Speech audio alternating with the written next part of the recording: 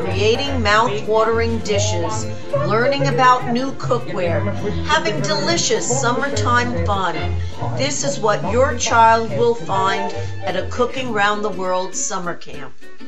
Each week of Cooking Round the World camp has a different cooking theme. Parents can sign up for one week of camp or multiple weeks. Camp is from 9 till 4 p.m. for ages 6 to 14. Pre-care and aftercare is available.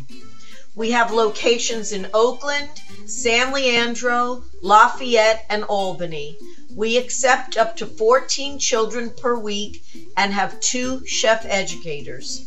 Your child will cooking will be cooking up scrumptious international dishes or embarking on theme related recipes for specialty weeks of camp like spaghetti and eyeballs during Harry Potter week or French Benedict pizza during Pizza Mania week or yam bread from Trinidad during Island Week. Campers will have delicious fun while we take the necessary precautions to protect them and their teachers from the spread of the virus. All children must wear a mask and gloves during cooking times.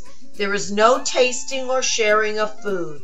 The room and ch- kitchen are ventilated, and the teachers are aware of spraying and wiping down surfaces. We aim for a delicious but safe time.